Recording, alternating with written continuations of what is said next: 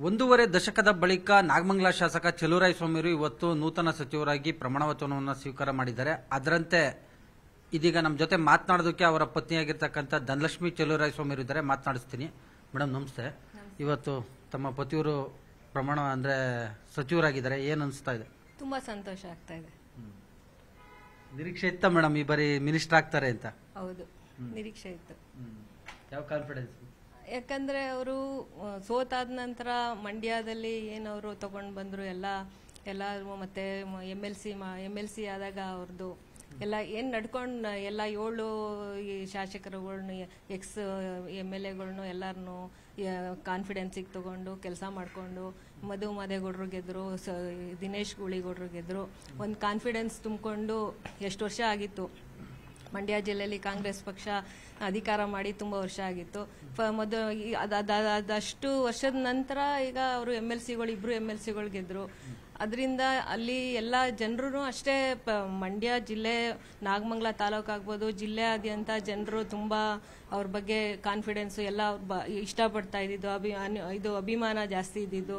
ಪ್ರತಿಯೊಂದನ್ನು ನೋಡ್ತಾ ಇದ್ದಾಗ, ಪ್ರತಿಯೊಂದು ಫಂಕ್ಷನಲ್ಲೂ ಬರ್ತಿದ್ದಿದ್ದು ಜನ ಅವರು ಎಲ್ಲ ನೋಡ್ತಿದ್ದಾಗ ಅದು ಆಗುತ್ತೆ ಇವರಿಗೆ. ಈ ಸಲ ಗೆದ್ದಾಗ ಅವ್ರ ಮಂತ್, ಕಾಂಗ್ರೆಸ್ ಪಕ್ಷನೂ ಬರೋದು ಖಚಿತ, ಇವರು ಮಂತ್ರಿ ಆಗೋದು ಖಚಿತ ಅನ್ನೋ ನಂಬಿಕೆ ನನಗಿತ್ತು. ನಾಗಬಂಗ್ಲಾದಲ್ಲಿ ಎಸ್ ವಿರುದ್ಧ ಗೆಲ್ಲೋದು ಅಷ್ಟು ಸುಲಭ ಅಲ್ಲ ಅಂತ ಚರ್ಚೆ ಆಗ್ತಾ ಇತ್ತು. ಅಂದರೆ ಅಲ್ಲಿ ಜೆಡಿಎಸ್ ಪ್ರಬಲ ಅಂತ. ತಮ್ಮ ಪತಿಯವ್ರು ಗೆದ್ದಿದ್ದಾರೆ ಅದು. ವೈಯಕ್ತಿಕ ವರ್ಚಸ್ಸ ಅಥವಾ ಕಾಂಗ್ರೆಸ್ ಪಕ್ಷದ ವರ್ಚಸ್ಸ ಹೇಗೆ ಅಂತ ಮೇಡಮ್? ಎರಡೂ ಸೇರ್ಕೊಳ್ಳುತ್ತೆ. ವೈಯಕ್ತಿಕ ವರ್ಚಸ್ಸು ಇದೆ ಪಕ್ಷದ ವರ್ಚಸ್ಸು ಇದೆ. ಆಮೇಲೆ ನಮ್ಮ ಪಕ್ಷದ್ದು ಈ ಸಲ ಗ್ಯಾರಂಟಿ ಕಾರ್ಡ್ದು ಪ್ರತಿಯೊಂದು ಎಲ್ಲ ಸೇರ್ಕೊಳ್ಳುತ್ತೆ. ಮೇಡಮ್ ಈಗ ತಮ್ಮ ಪತಿಯವರು ಹಿಂದೆ ಸಾರಿಗೆ ಸಚಿವರಾಗಿದ್ರು ಮತ್ತೆ ಆರೋಗ್ಯ ಸಚಿವರಾಗಿದ್ರು ಈ ಬಾರಿ ಯಾವ ಖಾತೆ ಯಾವ ಮಿನಿಸ್ಟರ್ ಆದ್ರೆ ತಮಗೆ ತಮಗೆ ಖುಷಿ ಅನ್ಸುತ್ತೆ? ಯಾವುದೇ ಕೊಟ್ರು ಅವರು ನಿಭಾಯಿಸ್ತಾರೆ. ಯಾವ ಯಾವ ಖಾತೆ ಕೊಟ್ರು ನಿಭಾಯಿಸ್ತಾರೆ. ಅದು ಹೈಕಮಾಂಡಿಗೆ ಬಿಟ್ಟಿದ್ದು. ಅಲ್ಲ ಏನಾದ್ರೂ ಒಂದು ನಿರೀಕ್ಷೆ ಇರುತ್ತಲ್ಲ ಇಂಥ ಇಂಥ ಡಿಪಾರ್ಟ್ಮೆಂಟ್ ಖಾತೆ ಸಿಕ್ಕಿದ್ರೆ ಒಂದು ಒಳ್ಳೆ ಕೆಲಸ ಮಾಡ್ಬೋದು ಅಂತ. ಆಸ್ ಅವರ ಆಸ್ ಅವರ ಪತ್ನಿಯಾಗಿ ಏನ್ ನಿರೀಕ್ಷೆ ಇಟ್ಕೊಂಡಿದ್ದೀರಾ? ಪಿ ಡಬ್ಲ್ಯೂ ಡಿ ಆಗ್ಬೋದು ರೆವೆನ್ಯೂ ಆಗ್ಬೋದು ಯಾವ ಖಾತೆ ಕೊಟ್ರು ಅವ್ರು ನಿಭಾಯಿಸ್ಕೊಂಡು ಹೋಗ್ತಾರೆ. ಅವರು ಸಚಿವರಾಗಿ ಆಗಿದ್ದಾರೆ. ಏನು ಸಜೆಸ್ಟ್ ಮಾಡ್ತೀರಾ ಮೇಡಮ್ ಆಸ್ ಎ ಪತ್ನಿಯಾಗಿ? ಏನಿಲ್ಲ ಅವರು ಯಾವಾಗಲೂ ಮೊದಲಿಂದನೂ ಅಭಿವೃದ್ಧಿ ಕೆಲಸ ಅವ್ರಿಗೆ ಅಭಿವೃದ್ಧಿನೇ ಮಂತ್ರ ಅವ್ರದ್ದು ಇನ್ನೂ ಹೆಚ್ಚು ಅಭಿವೃದ್ಧಿ ಕೆಲಸ ಮಾಡಲಿ ರಾಜ್ಯಕ್ಕಾಗಲಿ ಜಿಲ್ಲೆಗಾಗಲಿ ತಾಲೂಕಿಗಾಗಲಿ ಚೆನ್ನಾಗಿ ಕೆಲಸ ಮಾಡಲಿ ಅಂತ ಆಸೆ ಪಡ್ತೀನಿ. ಮೇಡಮ್ ಒಂದೂವರೆ ದಶಕ ಆಗಿತ್ತು ಅವರು. ಏನು ರಾಜಕೀಯವಾಗಿ ಮಿನಿಸ್ಟರ್ ಆಗಿ ಮತ್ತೆ ಅವ್ರ ಏಳಿಗೆ ಒಂದು. ಇವತ್ತು ಆ ಕ್ಷಣಗಳು ನನ್ನ ಮೆಲ್ಕು ಹಾಕದಾರೆ ಖುಷಿ ಆಗತ್ತೆ.